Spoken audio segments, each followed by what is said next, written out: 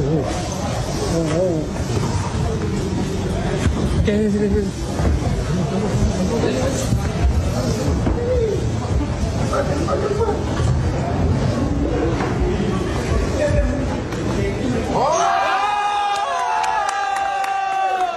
itulah gambaran dia bukan senang sebab uh, perlu ada kemahiran. Uh, kemahiran pun yang perlukan latihan uh-huh. dan pendedahan yang cukup panjang lah untuk dapat skill ataupun kemahiran yang sebegitu. Uh-huh. Dan sebenarnya situasi itu berlaku di luar waktu tugasan. Tapi kerana tanggungjawab yang dipegang itu tetap dijalankan untuk memastikan keselamatan mereka yang berada di sekeliling kawasan tersebut. Kita secara dalam talian bersama dengan Cik Ahmad Reza Fahmi Syukri. Assalamualaikum.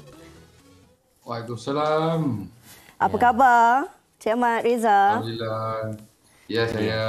Baik, uh, itulah bila bila tular tentang uh, insiden anda membuat tangkapan itu, bagaimana reaksi? Uh, mungkin ada yang uh, takut, mungkin ada yang dan macam-macam lah perasaan lah sebab ular ni memang sebut nama je pun ramai orang yang ni kan. Uh, sebelum tu boleh ceritakan pengalaman tuan uh, yang panjang. Mungkin ada sekitar tentu yang dipelajari secara formal sehingga mendapat uh, kemahiran yang ada sekarang ni. Silakan. Okey, baik. Assalamualaikum. Selamat pagi. Okey. Uh, pengalaman saya menangkap ular ni daripada uh, bermula tahun 2010 di mana hmm. waktu tu saya baru masuk uh, APM. Ya. Yeah. Okay, dan waktu tu saya oh, mencuburi dalam bidang ni hmm. uh, dengan uh, kata dorongan apa uh, kawan-kawan. Ya. Yeah. Okey, uh, dalam masa tu saya uh, belajar daripada ular tidak berbisa uh-huh. uh, dan terus ular berbisa. Kalau boleh kita imbau kembali uh, situasi yang berlaku pada April lalu, sebenarnya uh, kami difahamkan uh, Tuan Reza ni uh, selesai bertugas ataupun tak bertugas waktu itu. Bagaimana agaknya boleh dapat tahu yang King Cobra berada di kawasan tersebut? Boleh ceritakan? Okey, baik.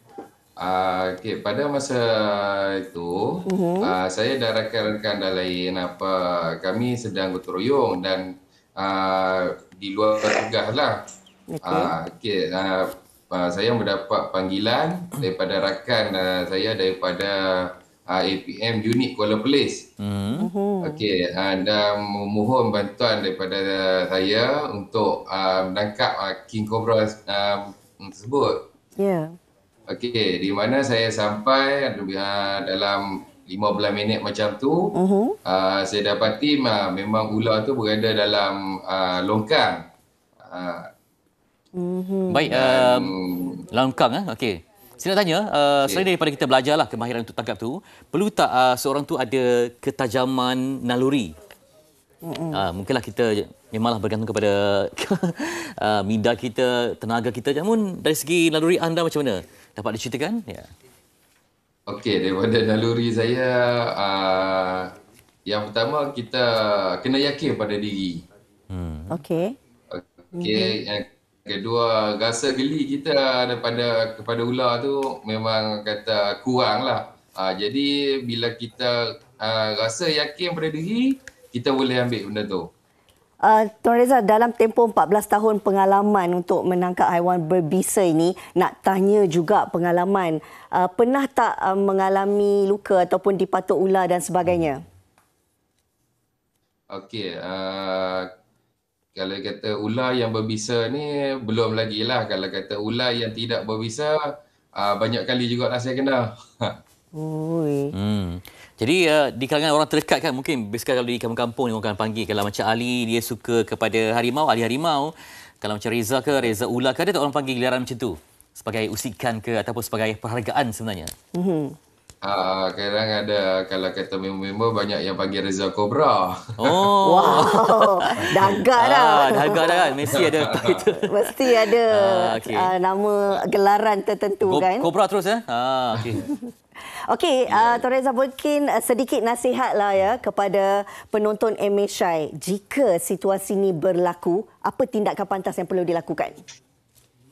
Okey, uh, pesanan saya sekiranya uh, uh, mendapati ada menyumpai ular okey yang pertama uh, uh, ra- uh, pantau uh, pergerakan ular tu Okey. dan apa uh, membuat uh, panggilan ke, uh, kecemasan Okey. uh, di sembilan di talian 99 ataupun uh, di uh, talian angkatan peternak awam sendirilah.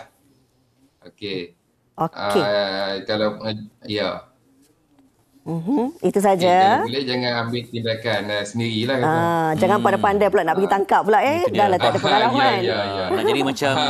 Reza Cobra ni kena pengalaman yang luas ya. Betul. 14 tahun tu pengalaman. Ah, okay, baik. Terima kasih banyak-banyak. Semoga terus membantu masyarakat dalam apa kapasiti yang kita mampu insya-Allah. InsyaAllah. Terima kasih Ya, atas baik. perkongsian. Jaga diri. Okay. Terima Assalamualaikum. kasih. Waalaikumsalam. Itu dah dia